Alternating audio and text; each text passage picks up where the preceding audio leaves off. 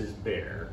Uh, we were referred to Bulletproof Training by a, uh, a, a very confident source who had outstanding experience, brought Bexar through the puppy class. We're extremely pleased. Very comprehensive training, very professional, and uh, we got where we needed to get with the puppy training, but we're hoping for big things with the boarding training. Everybody, Ashley here with Bulletproof Dog Training in San Antonio, Texas. Today I have with me Bexar. He is a six month old German Shepherd. He went through our puppy class and his mom and dad say they learned a lot from that, but he still got those typical puppy behaviors. He loves to pull on the leash and jump on new people. Um, they say he likes to counter surf and he doesn't always have the best manners when he wants attention. Um, he is going to be trained in German, so let's see what he remembers from puppy class. Bexar, here. Here. Here. Bexar. Oh. Oh my goodness. We don't very well. That's okay. Can you sitz? Oh, that's a jump. That's not a sitz. Can you sitz? No, no sitz. Okay, what about platz? Platz. Platz. You're so distracted. Okay, let's go for a walk. Can you? Boost. Oh my goodness. Ah.